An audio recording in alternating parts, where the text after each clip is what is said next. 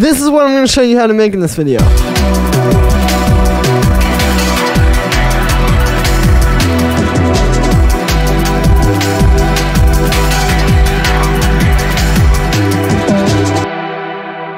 So yeah, we're gonna be talking about this like ethereal jungle style stuff. You know, very much influenced by Sewerslvt, Machine Girl, that style. Taking elements of both and putting them together here. To go along this video, you can grab this full template. The Ableton files, samples, MIDI, and presets are all available at the top of the description on my website. Definitely don't miss out. This is a really solid template. I haven't seen anything else on the market like this for this style, so definitely go grab that. It'll help you immediately today take your tracks to the next level. Thank you so much for the support, guys. Enjoy. Let's dive in. Alright, so we're at 162 BPM. You know, a little bit slower for some drum and bass stuff, but it gives you that nice, like, 90s jungle kind of groove. And even more like some footwork vibes, too, at that speed. First thing we have is this pad.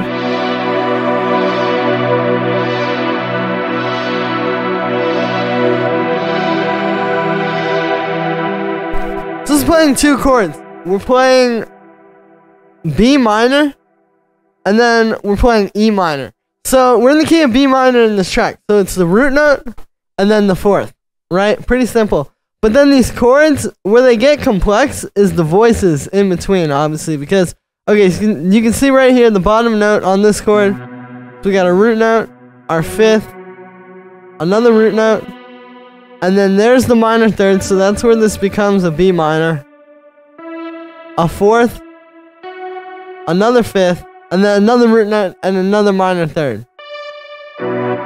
So by throwing that fourth in the middle there, it kind of makes it a bit more jazzy. And that's a big key to these chords, is the whole jazz and even like deep house and like, I guess again, just like 90s jungle UK vibes influence is just like the super jazzy chords. And then the second chord same thing, because what's happening here is, so we're doing a pretty basic E minor chord. But hear how that extra note on top just adds like that extra sort of jazzy thing to it. So that actually makes this a minor 9 chord. Technically not because we don't have the minor 7th in there, but we're just going to call it a minor 9 chord. Like, come on. So basically... Yeah, and again, these are just these very jazzy, like, kind of just deep sounding chords. The other thing that's happening with this is this little melody. It's very simple. It's just like, right, just walking up like that. But if you hear that happening over top of this two chord progression,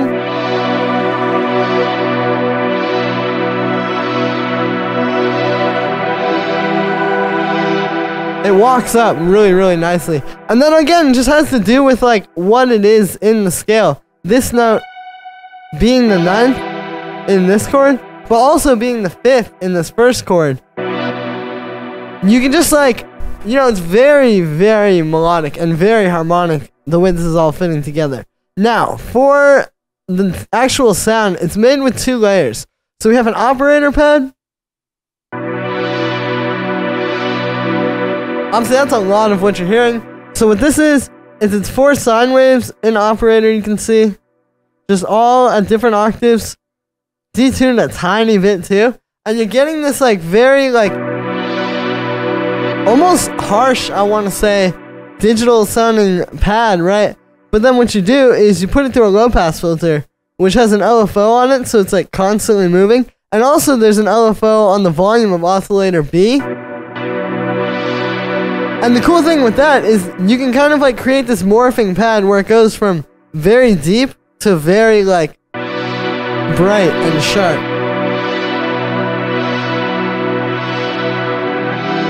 And also that really deep sound goes well with the jazzy chords too. You know, it's not just the notes or just the sound. It's the way that the texture of the sound goes together with the notes.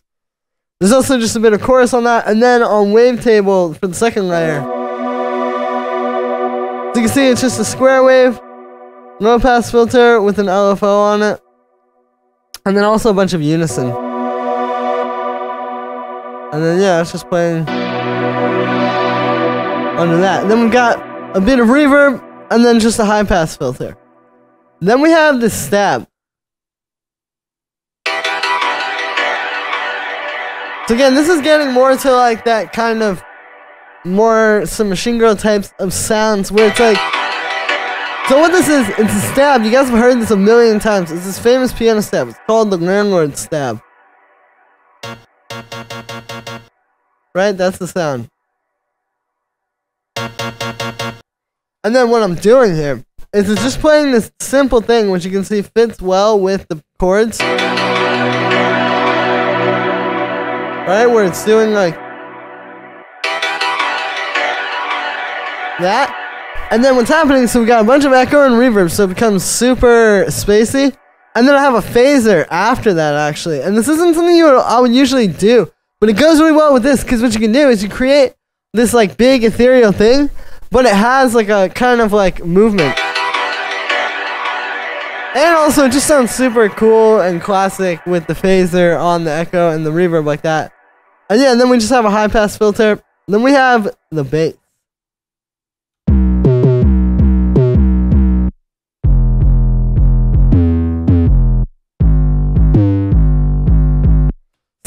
This bass is actually it's in the same exact key as everything else, right? We're still in B minor, but we're actually kind of doing a different thing from what the chords were doing up there.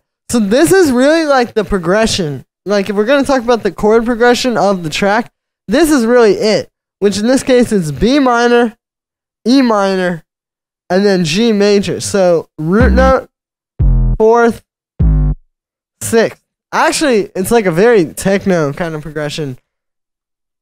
But then just having like this and then those chords, again, that's more like just musical texture.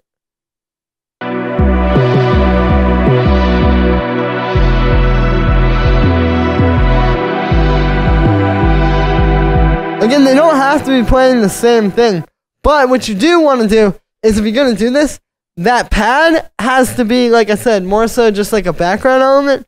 And then the bass always is going to be the one that's playing the actual progression. And all that we're doing here, this is kind of one of those implied progressions where these are actually just octaves of each other. You're not actually hearing any chords with this because, yeah, it's literally just like, all right, this is B, and then B an octave up, E, E an octave up. Like, it's all just that. But even up here, that's just G, even an octave higher. But because of where the notes are going musically, you can, like, again, it implies a progression. Now, for the actual sound on this one, it's made, so it's an 808. Like one of these just big, fat, deep 808s. Which is how these have always been made. Even in the 90s, it's like an 808 kick, and then you make the bass line out of that because this has all this movement. These like dum dum dum dum, like all that kind of stuff happening.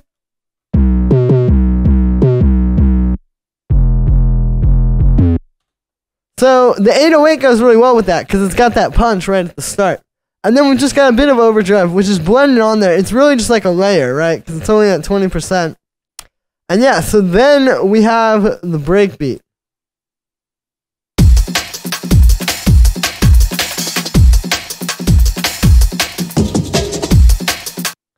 So this is um, trying to get that that breakbeat like you hear in these tracks, and maybe even get it a little bit cleaner and a little bit more modern sounding too. Like, you know, because when you hear these tracks, it's like, how are they getting like? It sounds like the '90s breaks, yes, but there's something to it a little bit more, and that's what I'm trying to do here. So the answer to that question is basically just kind of like, I think it's a little bit more specialized treatment of each layer than they would have been doing in the '90s but 90% of what you're hearing here is the same exact stuff, right?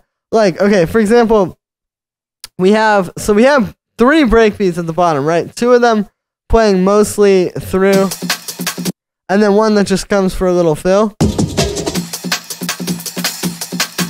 Right, so that already gives you that texture just because it is that. Like, it's the same things they were using back then. Like, one of these is from, if you guys have heard of the original Jungle Warfare CD. It's like a rare sample CD. This is from that. Right? And even this, like we have a snare programmed in there. But see, it's pulled from one of these breaks. So it's like what you're hearing here is 90% from the same sources as they were using back then. And that's a big part of it. So you gotta pull these from the right sources. And again, even like the snare. It's a it's just a snare chopped from a break that had a really good snare. And this kick here, what this is, this is one of my minimal kicks, which is really code for a 909 with a little bit of treatment. Right? So like even the kick, even though we probably don't want to pull the kick from a breakbeat because the kick needs to be nice and fat and that's kind of the thing is that these breakbeats don't tend to have very fat kicks. That's why you want to layer another one in. But even so, it's still like a classic sound. Like it's not like some super over processed modern kick. It's like something classic. And also to make this kick, all you really have to do, like what this sample is, is it's a 909 like I was saying, so we'll just grab a 909 kick.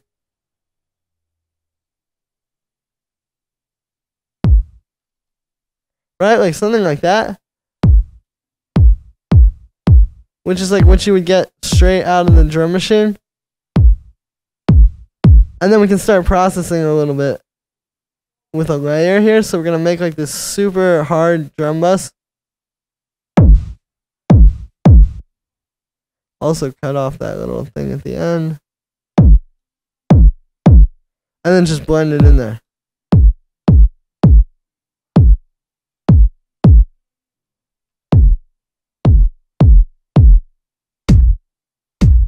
And obviously, you get different results with different samples. This was made with a very different sample from the one I was using there.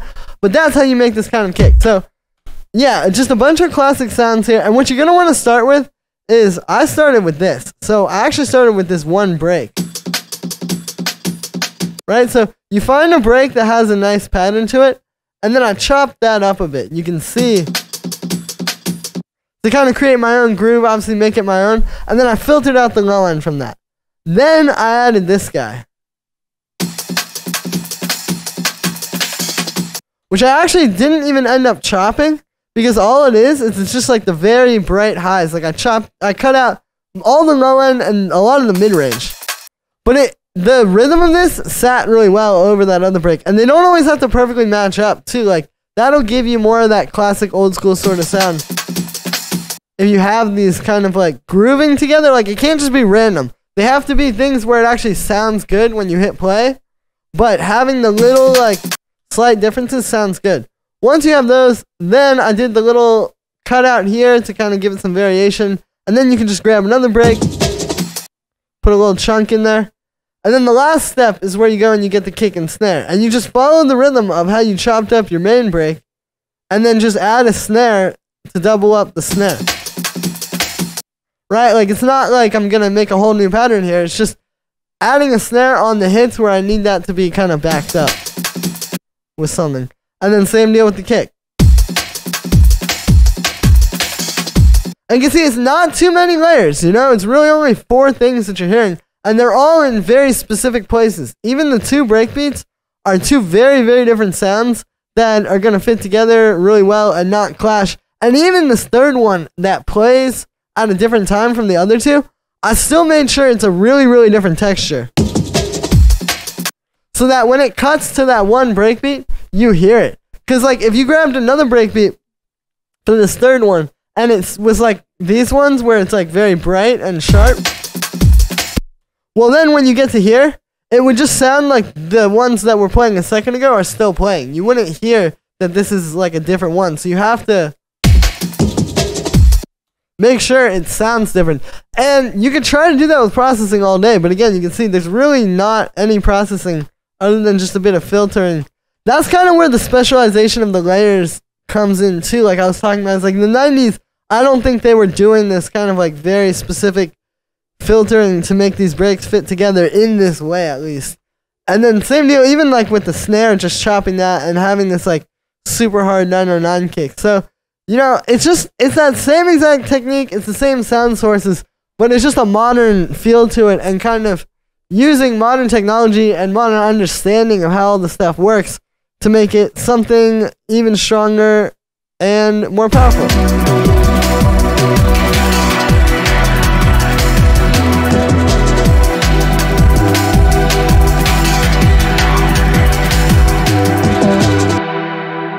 It for this one, guys. I hope you enjoyed. As always, make sure to like this video as well as subscribe. And let me know what you think of this video in the comments. Like I said in the beginning, you can get this full project file, samples, MIDI, presets. The entire template is available at the top of the description on my website. Definitely don't miss it, guys. This is something that you can do right now to make better tracks instantly. Link is at the top of the description. Thank you so much for the support, and I'll see you tomorrow with another video.